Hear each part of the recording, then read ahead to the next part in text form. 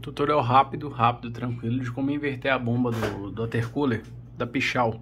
Você montou o seu watercooler em cima e a mangueira aqui, não, a curva fica terrível para você montar ela, certo? Só que quando você vai colocar o logo, o logo fica de cabeça para baixo, fica assim, ó. O que, que você faz? Vou mostrar. Ó, vocês vão tirar os dois parafusinhos que eu vou colocar na foto. Uma chavinha Phillips. Vem muito apertado, então cuidado para não espanar o parafuso. Quando vocês tirarem lá, deixa eu abrir ele aqui, pronto. Vocês vão inverter aqui dentro, deixa eu ver se eu consigo focar, pera aí.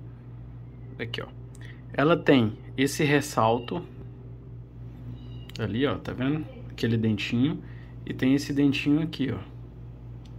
Você vai dar uma lixadinha nele de leve e vai colocar ele a 180 graus, pra você inverter a posição dele, tá vendo? Que aí ele vai ficar de cabeça para baixo original montado. Mas quando você montar no PC que as mangueiras vão sair pro outro lado, ele vai ficar na posição correta, que ele vai ficar em pé, ó. Aqui, ó. Ele vai ficar assim, ó. Eu vou fazer a montagem aqui e colocar a foto já já. que eu ia esquecendo.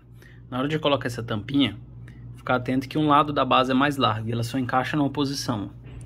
Você olhando ela por cima das saídas da mangueira aqui, ó, as duas saídas da mangueira. O lado da saída das mangueiras é onde encaixa a maior parte, ó. Você vai colocar ela aqui dentro, tá vendo? Ó, a saída das mangueiras, o pininho. Aí você vai pôr o dedinho, cuidado para não quebrar, sem pôr muita força, com jeitinho. Vai rodar, ó. Ele vai travar. Olha lá ele travado lá dentro, lá, ó. Depois que ele travou, é só montar. Aqui. Os parafusos são esses dois. Esse pretinho e o outro. Pode tirar sem medo que não vai interferir, essa, essa tampa é somente da carcaça. Não vai mexer com vedação, eu creio que não corre risco de perder a garantia. É só uma inversão simples. Vou montar novamente. Vamos lá, primeiro boot, depois de ter invertido. Pronto, a logo está em pé agora. Vamos entrar na BIOS só para conferir. Ver se não deu nenhum chabu. Subiu a BIOS normal.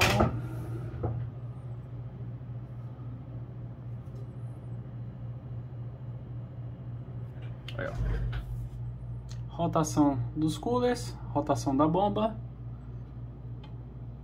Bateu a tampa, um abraço.